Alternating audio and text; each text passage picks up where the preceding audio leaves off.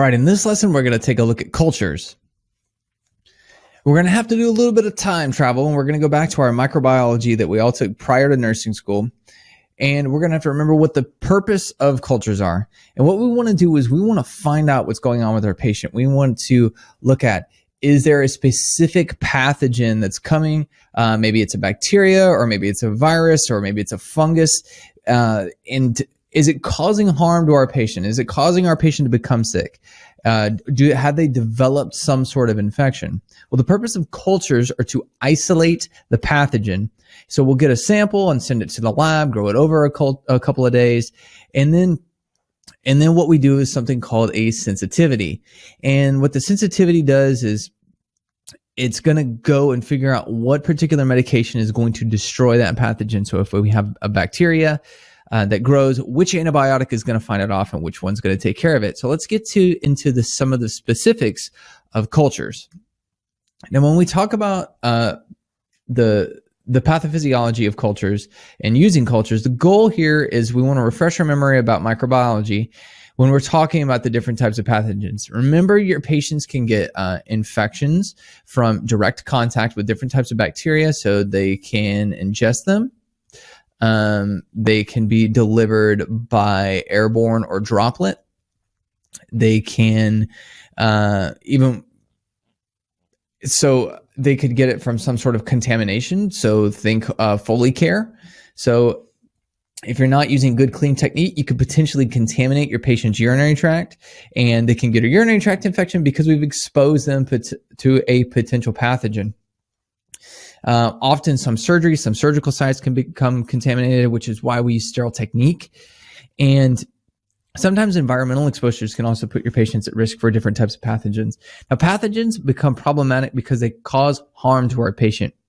So if your patient has a weakened immune system, they're not going to be able to fight off that bacterial infection that norm that they normally would be able to, and uh, it's going to require some sort of medical intervention. And this is why we do cultures.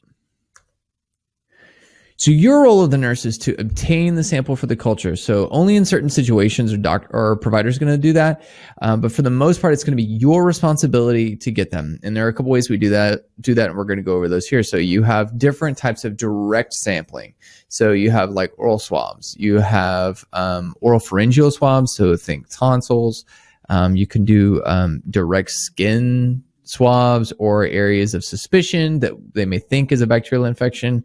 Um, you're going to do uh, blood cultures. So you would actually get that uh, directly from the patient via um, phlebotomy, um, urine cultures, fecal cultures. So those are direct samplings. The, the other interesting type of sample that you may get is called a sputum sample.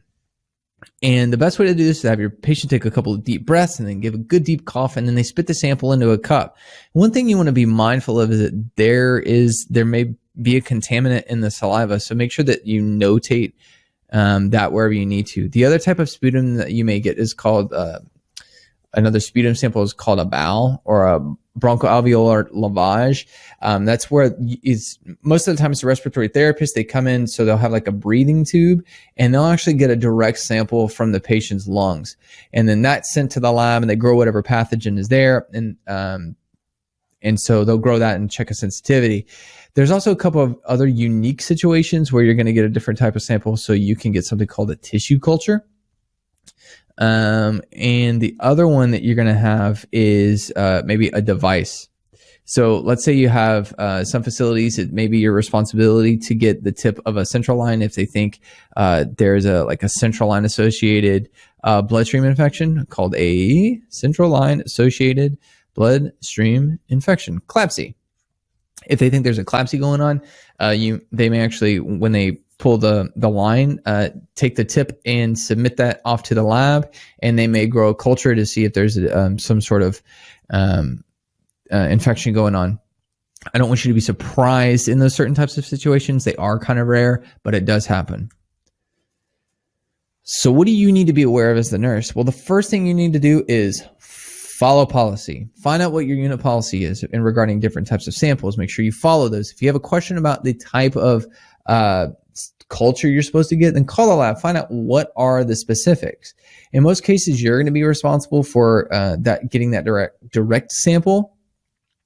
And you need to make sure that you follow sterile technique when you have to, or, or, even when there's a question. The last thing you want to do is have some sort of contamination on your, or contaminant from your hands that, uh, on you or that falls into the sample and it grows and gives a false positive, some other type of pathogen.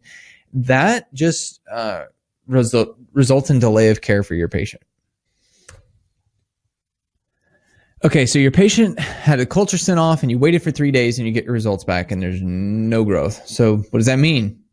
Well, it means that there's likely no pathogen and there's some other reason that needs to be investigated if there's a suspicion of in, uh, of infection. It doesn't always necessarily mean that there's nothing growing there, but it, uh, there was either not enough growth or that they're not suspicious that there is a pathogen there. So what about abnormal results? Well, they'll indicate some sort of specific pathogen, and they're going to test for, for susceptibility and sensitivity uh, to different types of medication. So they'll have like the agar that grows like this, and they use these little sensitivity discs on it. And what happens is you'll get growth right up next to it, and then you'll have growth around another one, but it's not as close. And then you'll have some that have growth way out here and then you'll have like some growth right next to it. So these are antibiotic discs. And what happens is you'll notice that this area here away from the disc tells you that this bacteria growing won't get next to the disc because it won't grow because the bacteria, the antibiotic is uh, effective in treating and killing the pathogen. So this one would be most specific. But they'll do these tests and they'll figure out which ones are um, which one are, is going to treat that type of uh, infection. Remember that when we're dealing with cultures, we're focusing on infection control and we're also looking at the lab values for our patient. So let's recap.